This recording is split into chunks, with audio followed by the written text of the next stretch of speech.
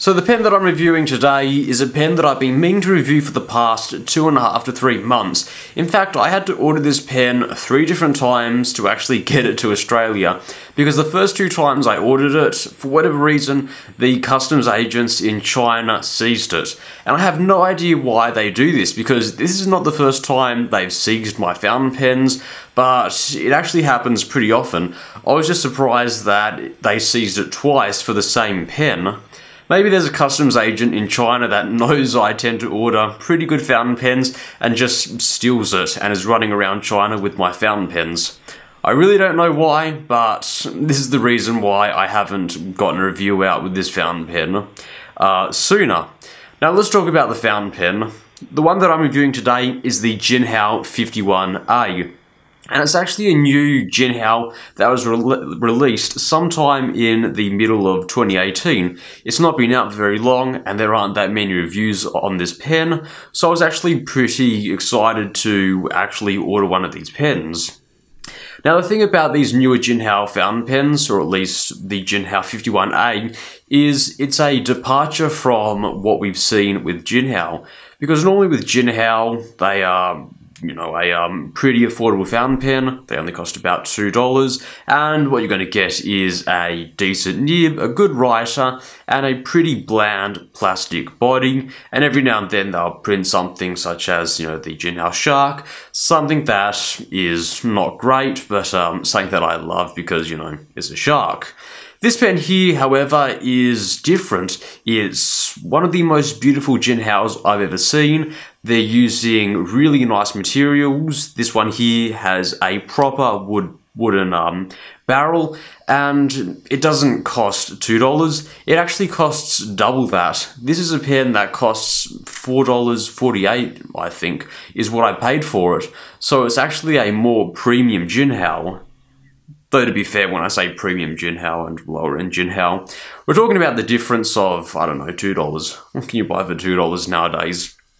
My point is, the Jinhao is actually stepping up their game. They improved their nibs last year and their manufacturing processes, and this year it looks like they're making higher quality pens to probably compete with the new PenBBSs or the newer Wing Sungs. Now here's the thing that I actually should add before I jump into the review, and that's Jinhao only really have about three or four different nibs that is spread across their entire selection of fountain pens. They have, I think, two variants of their number 5 nib that I've encountered. They have the number 6 nib, which they chuck on the X450, X750, and 159, and they have their hooded nib, which I've encountered on the Jinhao Shark, the Jinhao 911, and the Jinhao 51A. And here's the thing, there is a big price difference between the Jinhao 911 and the 51A. They both have the same nib, the only thing that you're really paying for is a different body. And that's one thing that I want to stress to people when they're looking at these Jinhao fountain pens. You're not paying for the nib, you're going to get the same nib, you're just paying for the body. So let's talk about pricing, because this fountain pen cost me about $4.80, but the thing is, it might not necessarily cost $4.80 for you, because this pen's price actually depends on the material that you want the back of the barrel to be made of. And unlike other Jinhao fountain pens, there is a huge range of choices that you can get the back of the barrel to be made out of. So Jinhao actually offers three different price points. You can get a cheaper, more traditional plastic um, back of the barrel, and that'll cost you about $3.50.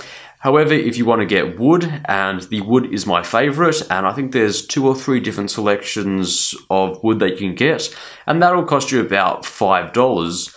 However, if you want a proper acrylic back, and that is also pretty beautiful, that will cost you a premium, and I think that's about $6.50 to get that. Now before I talk too much about this fountain pen, let's quickly jump into the specs and ergonomics of this fountain pen. So capped, this pen is going to be about 139 millimeters long, Uncapped, it's going to be about 128 millimeters long, and posted, it's going to boost it to 150 millimeters long. And in terms of the weight, it's 9 grams uncapped and 17 grams posted, which means that this is a pretty hefty cap at about 8 grams in weight. And in terms of the ergonomics of these Parker 51 fountain pens, I have to say, I always enjoy, holding these fountain pens. Holding them is very comfortable. It might not always be the most comfortable pen to write with because I don't like hooded nibbed fountain pens, but the grips are always one of the things that I love about these fountain pens. They're one continuous curve, which means that there's no set spot where you need to hold it. You can hold it close to the nib, you can hold it far away from the nib, and it's going to feel incredibly comfortable which is really nice. I know there are some pens out there, like the Jinhao X450, where you have to hold it right here or it's going to be very uncomfortable, which is one of the reasons why I don't use my X450 all that much anymore. Using this pen unposted is going to be alright. I think there's enough length in there for it to be comfortable, but when I do use these fountain pens, I'm always going to use these pens posted and the only reason why I use them posted is because it adds weight to the fountain pen. As I said, it's only going to be 9 grams in weight when it's uncapped, which is the lower end of what I like to write with. When I boost it up to 17 grams, yes, it's a little bit back heavy, but it is so much more comfortable to write with. One thing that I will say is that when I first got this pen and I saw the grip, I immediately compared it to the Jinhao 911 because Looking at them, the grips are very similar, but when you actually take a closer look at them, you'll notice that the Jinhao 911 actually has a much smaller in diameter grip compared to the Jinhao 51A. And when I measured it, the difference was only about one and a half millimeters in diameter. And when you think about it like that, the difference in diameter is pretty small. You're probably not going to notice it all that much. But here's the thing, when I've been using this fountain pen, and I've been using the Jinhao 911, I actually noticed that this pen here was a butt ton more comfortable than the older Jinhao 911. For whatever reason, that small increase in diameter makes this pen so much more comfortable to write with than the Jinhao 911, and as a result, I can write with this pen for much longer times than that pen. And for that reason alone, makes me enjoy the writing experience a lot more than the older Jinhao fountain pen. And for those of you who are wondering, no, unfortunately, the grip sections aren't interchangeable. For whatever reason, Jinhao have gone ahead and used different threads. So, yeah, for anyone wondering. The next thing I want to talk about is the aesthetics, because I'm going to go out and say this is probably the most beautiful fountain pen made by Jinhao at the current moment. It really is, I have to say. This pen here is really beautiful to look at. It's not over the top and it's not tacky like some of those Jinhao Dragon pens that they make, but it is not understated at the same time. It is just a very nice looking pen. It has a very nice um, texture of the wood and it contrasts well with the stainless steel. I really do enjoy using this fountain pen and just taking it out. It is very, very nice. In terms of durability, this pen is pretty durable. I've been using this pen as an everyday carry pen for the past two and a half to three weeks.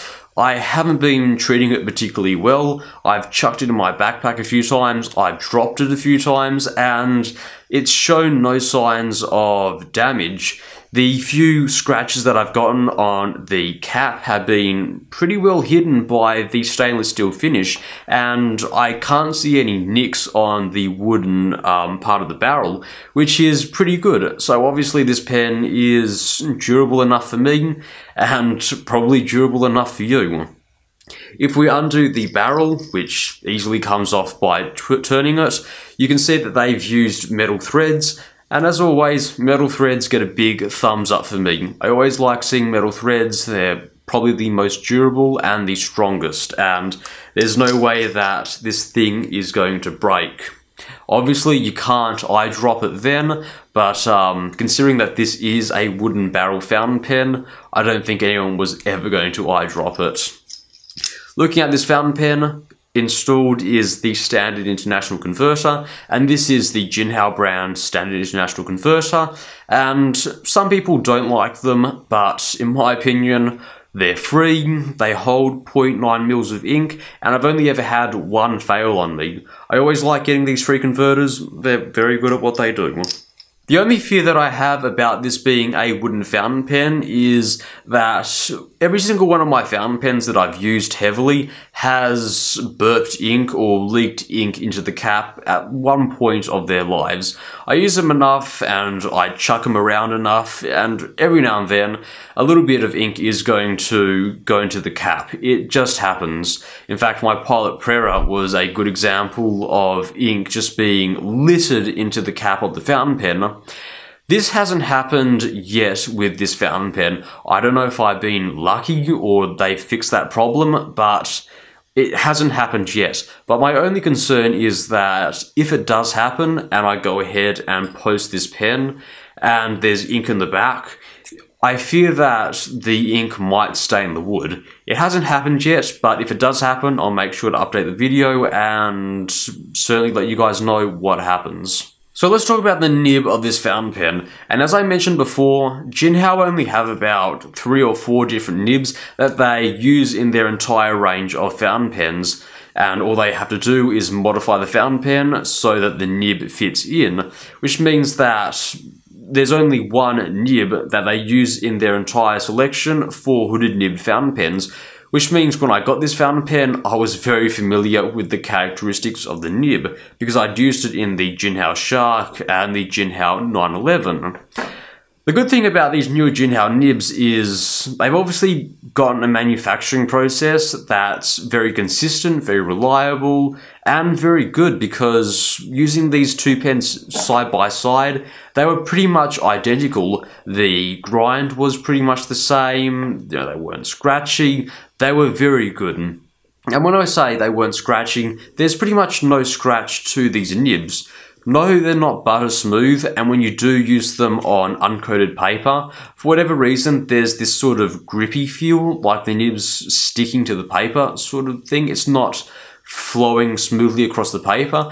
But in terms of using these nibs, they get the job done. That is all I can say about these. You're paying, you know, two or three dollars for a fountain pen, uh, what can you expect? These nibs work and they work well. They're very consistent nibs, they're very reliable nibs, and you know, ever since they brought out the new 900 series pens, I've only had about two gin Jinhaos that have had dud nibs, which is really, really good. This one here is a fine nib, it's obviously a stainless steel nib, but one funny thing that I have to say about, you know, Jinhao nibs is their fine nibs on their hooded nib fountain pens are a lot finer than their fine nibs on their I don't know what you call them, exposed nibs? You know, the more traditional nibs. Those nibs are like closer to medium nibs, while these ones here are closer to actual, you know, Japanese fine nibs, which is something that I think is a little bit, you know, bit of a fun fact, I guess. There you go. Um, in terms of feed, I think this is the same feed that they use, you know, in every other Jinhao fountain pen. So these aren't the wettest feeds in the world, but they're pretty consistent. Sometimes there will be a little, little bit of skipping if your ink level is getting low, or you haven't used the fountain pen in a few days, but on, on the whole, they're pretty, pretty reliable. Obviously, because this is a hooded nib fountain pen, you're going to get close to zero flex, but um, you can get the illusion of flex, I guess, just by getting contrast. So if you don't push down hard on one, the upstroke. Hello everyone, welcome to the writing sample for the Jinhao, the 51A, and this is a fine nibbed fountain pen. The paper that I'm using is a brand new Clairefontaine um, A4 notebook, and the ink that I'm using is Robert Oster.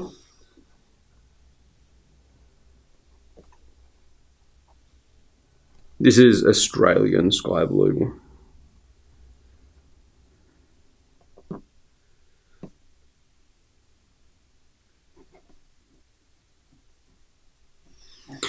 It is probably one of my favourite inks at the moment. Anyway, let's go into a quick writing sample.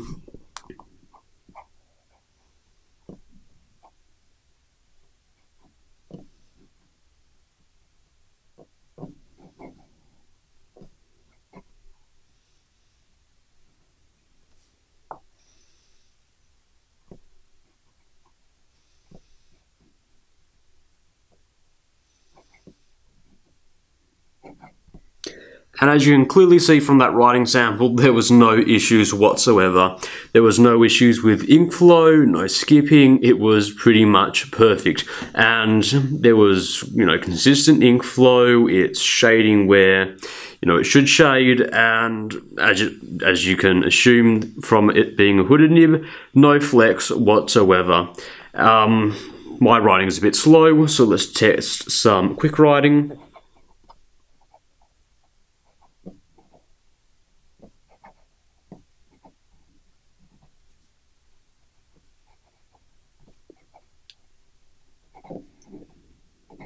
And even from quick writing, there is no issues whatsoever. If we look at the grind of the nib, you can easily see that there is no natural line variation. And in terms of line variation with the side strokes, yeah, even with the side strokes and upstrokes, there is no line variation whatsoever. Even on some, you know, pilots or some, you know, wing sungs, there is some line variation between the side strokes and the downstrokes absolutely none here. In terms of flex, this is no pressure whatsoever and slightly building up pressure. And yeah, there's no line variation at all. And you'd assume that. So no pressure and full pressure. So writing our lovely hello or not. That's not how you write an H. Uh, yeah, there's no line variation whatsoever. In terms of wetness, it's not super dry, but um, that is certainly below average. And you'd expect that from a dry hooded nib fountain pen. That is a Jinhao as well. In terms of reverse writing,